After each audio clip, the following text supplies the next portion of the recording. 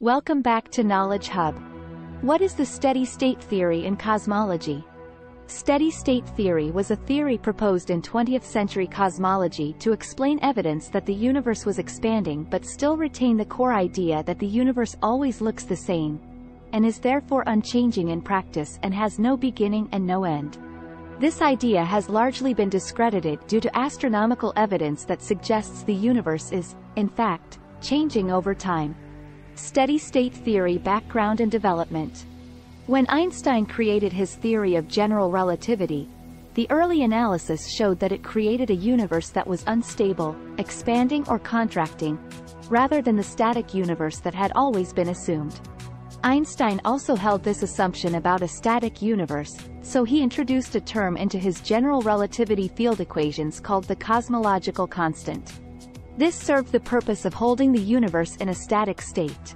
However, when Edwin Hubble discovered evidence that distant galaxies were, in fact, expanding away from the Earth in all directions, scientists, including Einstein, realized that the universe didn't seem to be static and the term was removed.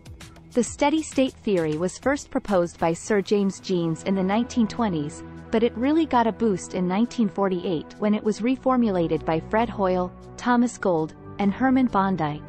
There is a dubious story that they came up with the theory after watching the film, Dead of Night, which ends exactly as it began. Hoyle particularly became a major proponent of the theory, especially in opposition to the Big Bang theory.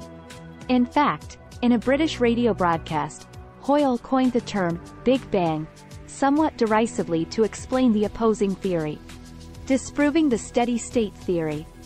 The evidence against the steady-state theory grew as new astronomical evidence was detected. For example, certain features of distant galaxies, such as quasars and radio galaxies, weren't seen in nearer galaxies.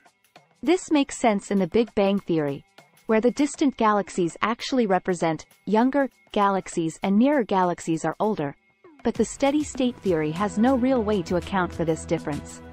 In fact, it's precisely the sort of difference that the theory was designed to avoid. The final nail in the coffin of steady-state cosmology, however, came from the discovery of the cosmological microwave background radiation, which had been predicted as part of the Big Bang theory but had absolutely no reason to exist within the steady-state theory. Quasi-steady-state theory. There continue to be some scientists who explore the steady-state theory in the form of quasi-steady-state theory. It is not widely accepted among scientists and many criticisms of it have been put forth that have not been adequately addressed.